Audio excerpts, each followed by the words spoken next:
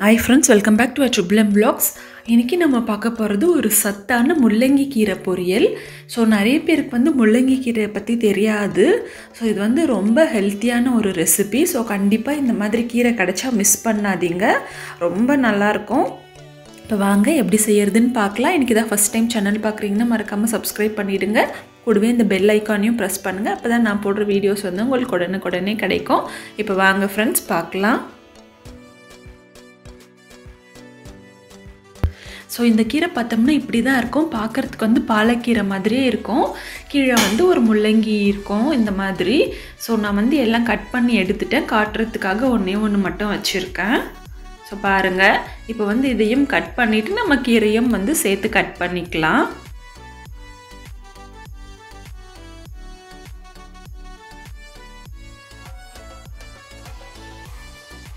So இந்த மாதிரி வந்து அந்த முள்ளங்கியை கட் பண்ணி எடுத்துக்கலாம். நம்ம முள்ளங்கியை வந்து வேறு ஏதாச்சும் கா குழம்புக்கு அந்த மாதிரி யூஸ் பண்ணிக்கலாம். இது வந்து கீரையே நிறைய இருந்துச்சு. இல்லைனா இது கூட கூட நம்ம போட்டு சமைக்கலாம். ஸோ நம்ம வந்து இதில் எதையுமே வேஸ்ட் பண்ணக்கூடாது. அந்த தண்டு கீரை எல்லாத்தையுமே இந்த மாதிரி கட் பண்ணி எடுத்துக்கணும். ஸோ வந்து ரொம்ப ஒரு நல்ல ஆரோக்கியமான சமையல் இது. இந்த மாதிரி எல்லாமே கட் பண்ணி எடுத்தாச்சு. நான் வந்து ஃபஸ்ட்டே வாஷ் பண்ணிட்டு தான் கட் பண்ணேன். அதனால் இப்போ வாஷ் பண்ண தேவையில்லை. ஸோ ஒரு கடாய் வச்சு நான் இன்றைக்கி பொரியல் தான் பண்ண போகிறேன் கடாய் வச்சு ஒரு ஒன்றரை டீஸ்பூன் எண்ணெய் விட்டுருக்கேன். காஞ்சதும் கொஞ்சமாக கடுகு தாளிச்சுக்கிறேன். கூடவே ஒரு டீஸ்பூன் உளுந்து. அது பொரிஞ்ச உடனே ஒரு மூணு காஞ்ச மிளகாய் சேர்த்துக்கிறேன். மர மிளகாய். கொஞ்சமாக கருவேப்பிலை சேர்த்துக்கிறேன். கூடவே நல்லா வெட்டி வச்ச ஒரு பெரிய வெங்காயம் சேர்த்துக்கிறேன். இது கூடவே வந்து காரத்துக்கு இன்னும் ஒரு ரெண்டு பச்சை மிளகாவும் ஒரு பத்து பல்லு பூண்டு வந்து சின்னதாக கட் பண்ணி வச்சுருக்கேன். அதையும் சேர்த்துக்கிறேன். ஸோ இதெல்லாமே வந்து நல்லா வதக்கிடலாம். கீரையே வந்து ரொம்ப சத்தானது. அது இது மாதிரி நம்ம ரொம்ப லைட்டாக சமைச்சு சாப்பிட்டோம்னா வந்து ரொம்ப நம்மளுக்கு ஹெல்த்தியாக இருக்கும். கீரையில் பொதுவாகவே பார்த்தோம்னா இப்போ வந்து உப்பு தேவையான அளவுக்கு உப்பு சேர்த்துக்கிறேன். கீரையில் பொதுவாகவே பார்த்தோம்னா வந்து கண்களுக்கு வந்து ரொம்ப நல்லது. அது இல்லாமல் அதில் நிறைய நார்ச்சத்து இருக்கும் ஃபைபர்ஸ் இருக்கும். அப்புறம் வந்து அதில் எல்லாமே விட்டமின்ஸ் மினரல்ஸ் எல்லாமே இருக்கும். ஸோ ப்ளஸ் இது வந்து ரொம்ப ஒரு ஃப்ரெஷ்ஷாக கிடைக்கிறது. ஸோ அதனால் வந்து மிஸ் பண்ணவே கூடாது. நம்ம கீரையை வந்து வீக்லி ஒன்ஸ் ஆர் ட்வைஸ் வந்து கண்டிப்பாக எடுத்துக்கணும். குழந்தைங்களுக்கும் வந்து இந்த மாதிரி சமைச்சு கொடுக்கணும்.